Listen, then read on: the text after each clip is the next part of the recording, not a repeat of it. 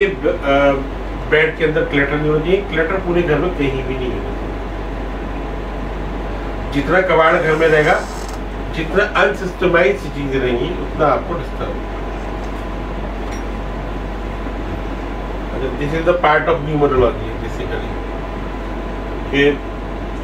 the people those are born on ninth और eighteen और twenty seven of any month ठीक है?